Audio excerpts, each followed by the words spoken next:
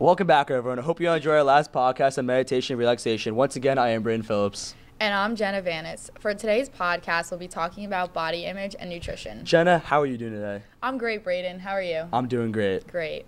Body image has always been a huge issue throughout all teens in high school. When not worrying about school, clubs, and family, we usually worry about ourselves and the way we look. I'm pretty sure we've all scrolled through Instagram or Snapchat and felt upset or jealous of the way people have looked. I found something online that said 80% of women don't like the way they look. I mean, that's a big number. It's not even girls. It also said 34% of men aren't happy with their bodies either. So, pretty much you're telling me that people aren't too happy with the way they look, and being in high school doesn't help either? While it is important to be happy with yourself and the way you see yourself, it's also important to keep a healthy lifestyle. For this podcast, we'll be talking with Nick Malone, a personal trainer, and Natalie, a nutritionist, to find a better way to live a better lifestyle. You're going to see a quick workout session and an easy and healthy snacks to make at any time. Someone Snapchat you.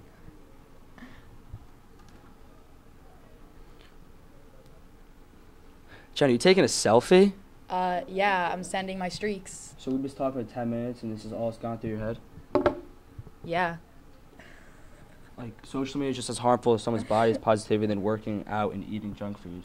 Social media, I go on Instagram almost every single day. Well, every single day, and I'm fine.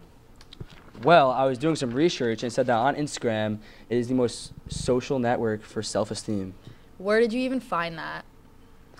The Royal Society for Public Health took a survey a couple years ago, and, and get this seven out of the 10 people reported getting cyberbullied through social media.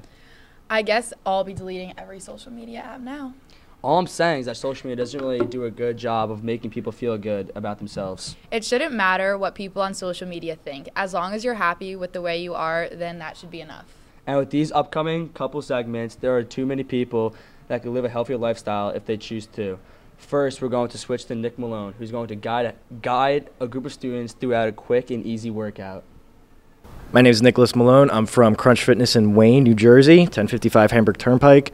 Um, I'm going to show these group of high schoolers some quick, easy exercises they can do at home. You know, release some stress. You know, they got some tests coming up.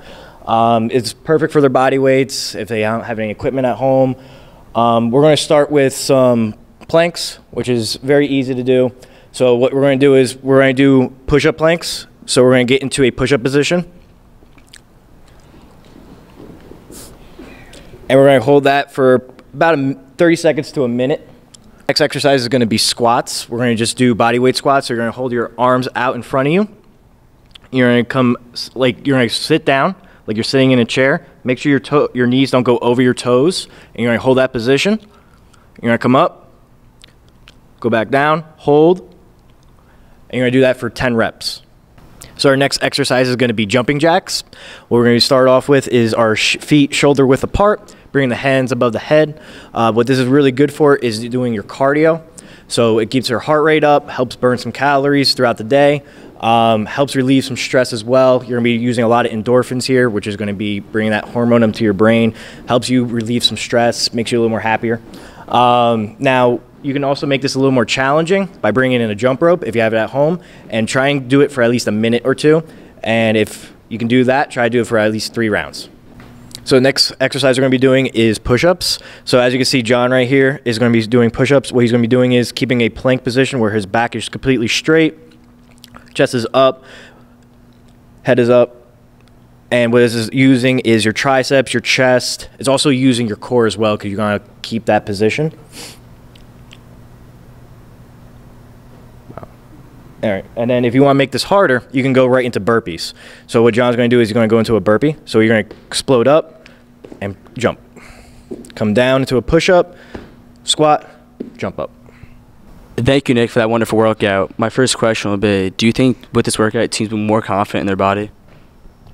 Uh, you're welcome for the workout. Uh, with this type of exercises, teens will be more confident in their bodies. You know, they're going to have start to lose some weight, uh, build some muscle, feel a little more confident walking around. You know, on the beach, uh, parties. Yeah. And other than these workouts, any other things kids to do to stay healthy? Um, most important thing is diet. Uh, if they have a good diet, you know, along with working out, diet is key. You can have the best workout of your life, but if you're not having a good diet, you know, you're eating McDonald's or Burger King every day, you know, you're not going to make any progress. What makes this workout better than other workouts? So the good thing about these type of workouts is that you can do these at home. You don't need equipment or anything like that. Uh, these are really fun. You know, you can do this in between, you know, watching TV, doing commercial like commercial breaks on TV, uh, between homework assignments. You know, they help relieve stress a lot. Um, you're going to be doing a lot of cardio. You know, it's going to be helping with the calisthenic movements. You know, keeping the joints loose. Why should people, including high school students, aim to exercise every day?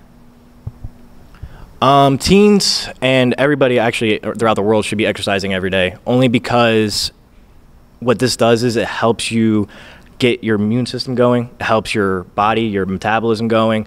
Uh, it helps release some stress. You know, it helps cure a lot of different things. Like you know, people with depression have come to me as a client of mine. You know, they have made significant benefits in their lives. You know, it just helps them make better choices with their lives as well. You know, not only just you know eating right and everything like that, but just daily activity. You know, they're just kind of going through, if they're going through something bad, they can help relieve the stress by just doing exercise. This is Mr. Karsich from the Physical Education Department here at Wayne Valley.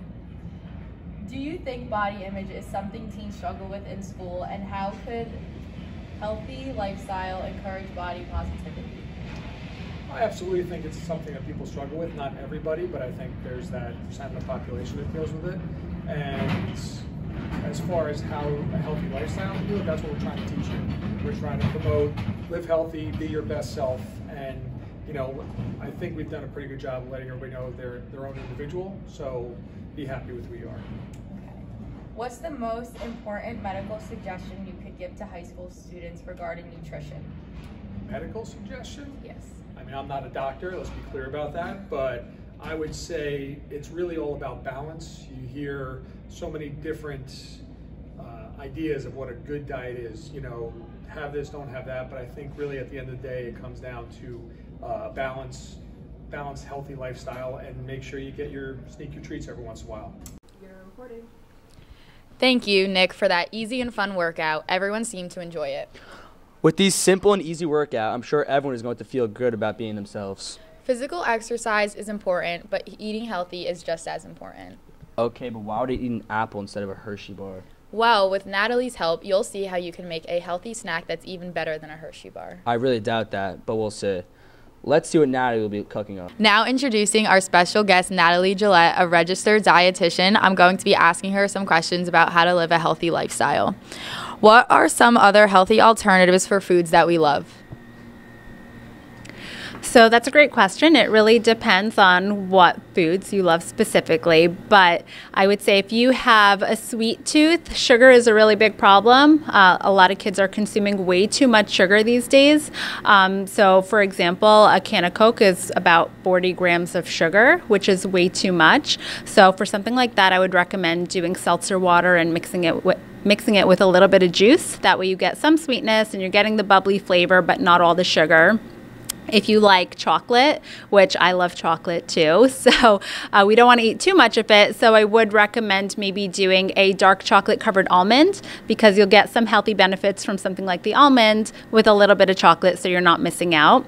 And for something like a salty snack, if you're into chips or pretzels, those are a little bit too high in fat or sorry, too high in salt. Um, so I would maybe go for popcorn instead, which has some fiber in it. In what ways would you recommend preventing eating disorders among teens and students? Also, a really good question. I think it's so important too. Eating disorders are really common, especially in this age group. So, I do think that social media has a lot to play with it as well. And my biggest recommendation would be to not always believe what you see or hear, especially on social media. Everyone is trying to sell a diet, they're trying to sell a product, and those things don't necessarily always work all the time. Um, they really don't care about your health they care more about making money. So you really do have to do some extra research and see if what these products and companies are claiming really do exist. Um, again, eating disorders are really hard, especially at an age where everything is all about your image and how you look. Um, and really, it's more about how you feel and being healthy. Um, your body comes first, and living a healthy lifestyle to make your body healthier is your number one priority. And second to that will come looks, but looks should not always be the main thing when it comes to, to dieting or eating healthy. Does living a healthy lifestyle mean completely cutting junk food out of your diet?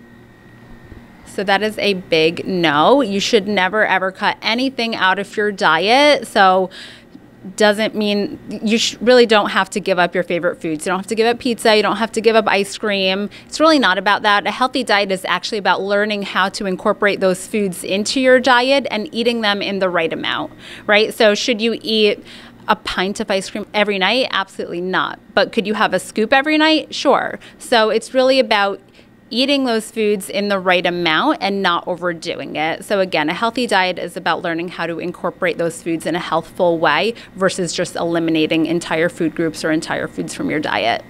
What are some examples of a healthy diet for teenagers to use? So, I have to say, I hate the word diet.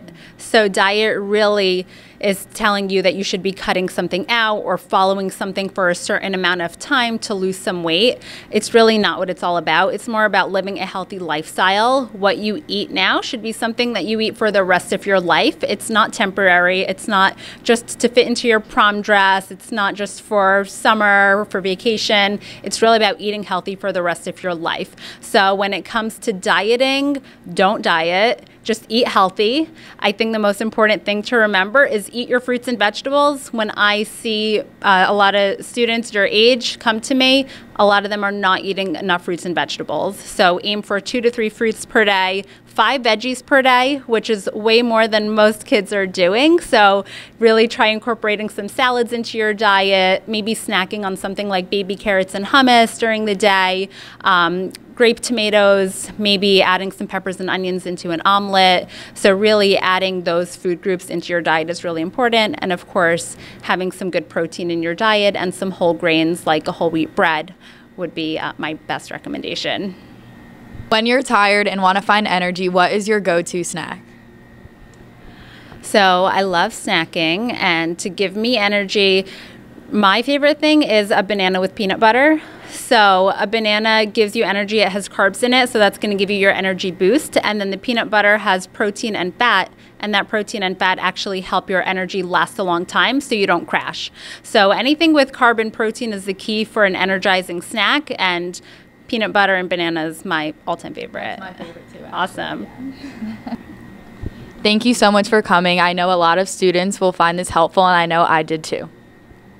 Thank you for having me. It was a great experience. And also, if anyone has any nutrition related questions, I am the registered dietitian over at the ShopRite in Wayne. So you can always come make an appointment if you want to want some counseling or just have a couple questions. And it's completely free. So come by, give me a call, and we'll set something up. Wow, those look really good. What do you think, Braden? Better than a Hershey bar? Let's just say I wouldn't mind eating that instead of chocolate. I mean, I love those Hershey chocolate bars, but they're not the best thing to eat every day. Sure, they're really good, but I feel fat after eating one chocolate bar. I can't imagine eating more than that. What about guys? I mean, is this whole thing about eating and body image just a girl thing? Don't get me wrong, a chocolate bar is good every now and then, but I agree with you. Sometimes I feel bad after eating a lot of chocolate. So I guess body image is a problem for both guys and girls. As long as you're confident in your own body, that's all that matters. And if you're not too happy with your body, then we have these workouts and healthy snacks to try and be healthier. Thank you so much to everyone who tuned into the segment of Wayne Valley IRL. We hope that this podcast gave you some helpful information that anyone can use if they want to live a healthier lifestyle. Thank you, everyone. Goodbye.